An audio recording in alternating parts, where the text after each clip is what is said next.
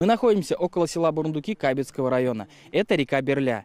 Каждой весной она может выйти из берегов и затопить село. Происходит это из-за затора льда и шуги на изгибах русла. В этом году снега много, и риск бедствия значительно выше. В селе 500 жителей разлива реки уже не боятся, знают, как подготовиться. Скотину выгоняют где повыше, кур закрывают на чердаках сараев, достают картошку из погребов. Под мебель пленка, а ту, что полегче, тоже на чердак.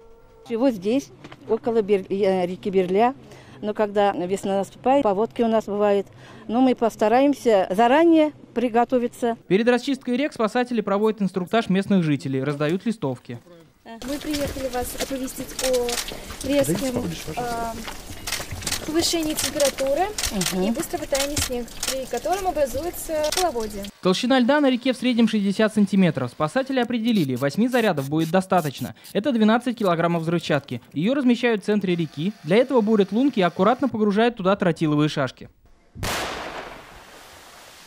В других местах, где проводить взрывы нельзя, например, около мостов, силами местного самоуправления также проводятся подготовительные работы. В других местах, да, проводится активно чернение льда, э, где вот в возможных заторах это э, возле моста, э, опасных участках, где большие извилины, и распиловка льда.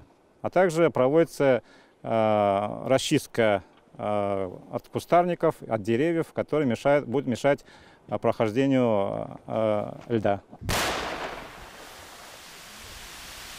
Сейчас в Татарстане 15 районов, где реки ждут весны. Там спасатели проведут свою работу. Взрывные работы проводятся на затороопасных участках э, рек Меша, Кайбица, э, Кубня, Свияга. В основном с целью для защиты населен, населенных пунктов. Берля последний раз разливалась в 2018 году. Тогда затопило несколько дворов. В будущем планируется провести земельные работы по распрямлению русла реки, и паводок будет не так опасен. Иван Сарафанов, Вадим Иларионов, ТНВ, Кабельский район. Закажи рекламу на ТНВ. Телефон в Казани 5 705 100.